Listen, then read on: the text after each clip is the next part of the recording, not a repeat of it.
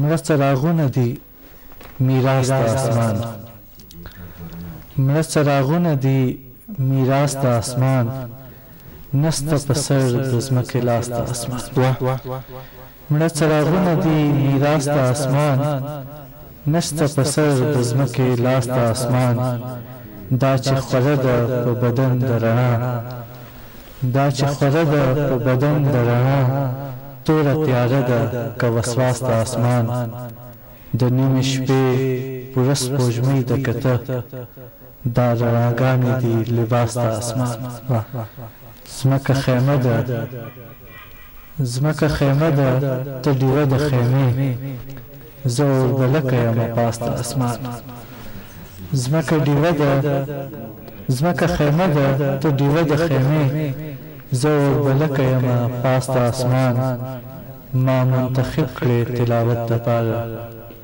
ته صحیفه یې که احساس ته واه ډېر ښه ما منتخب کړې تلاوت دپاره ته صحیفه یې که احساس د آسمان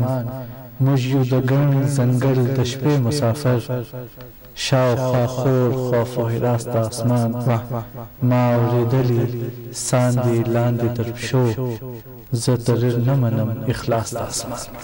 مړه څراغونه دي میراث د آسمان نسته په سر د ځمکې لاس د آسمان. ډېر تشکر زنده باد ډېر ښه جی ګران کتونکو زموږ د قدرمن میلمه دانیال تریر په زړه پوری غزل تر تاسو پوری موږ در ورسوي اله لرو چې تاسو به ډیر خوش شوی وي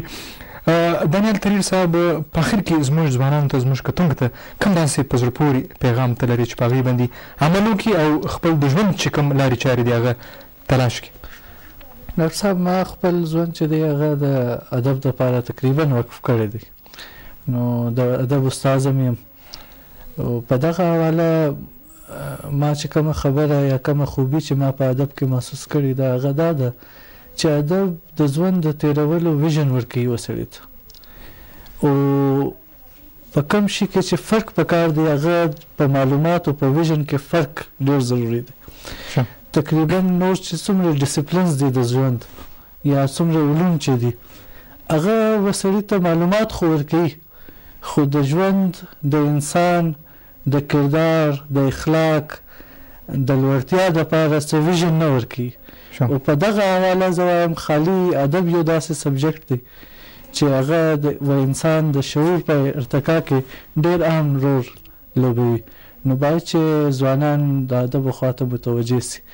که د لیکلو په حواله کوشش نه سی کوای نو باید چه مطالعه یی ضرور وکی. دانیال تریر صاحب یوه نړۍ مننه چې ته زموږ خپرونې ته راغلې. د پي ټي وي بلان ډېر مشکور او شکر ګزار یم ستاسو ډېر. جي ګران کتونکو زموږ د نن دا ځوان شاعر دانیال تریر د ده په زړه پورې خبرې تاسو واورېدې. موږ دغه لاس په دعا یو چې پروردګار دې د ده په قلم باندې برکت واچوي او زموږ لپاره هم دغه په کار ده چې موږ خپل د دغه ځوانانو ملاتړ وکړو. ددی سره مرستی وکو او ددی په ملا باندی همیش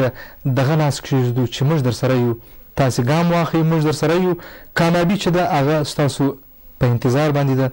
ددغه ځوانانو دپاره موږ دعا کوو چی پروردګاری دغه ځوانان کامیابه ولری ولی چی دغه ځوانان زموږ سباون دی او زموږ د هیواد چی کوم منډی ترنډی دی هغه دی سبا خپل کوي ګران کتونکو هیله لرو چې زموږ د نن خپرونې به ستاسو د زړه په کورو کې ضرور ځای پیدا کړی وي که چیرې ژوند اجازه راکړه د یو بل خپرونې سره به بیا زه ډاکټر طاهر بړیڅ ستاسو په درنه خدمت کې حاضرېږم تر هغه وخته پورې خپل کور به ډاکټر طاهر بړیڅ ته ورکړي اجازه د خدای په امان تل روغمن او شادمن اوسئ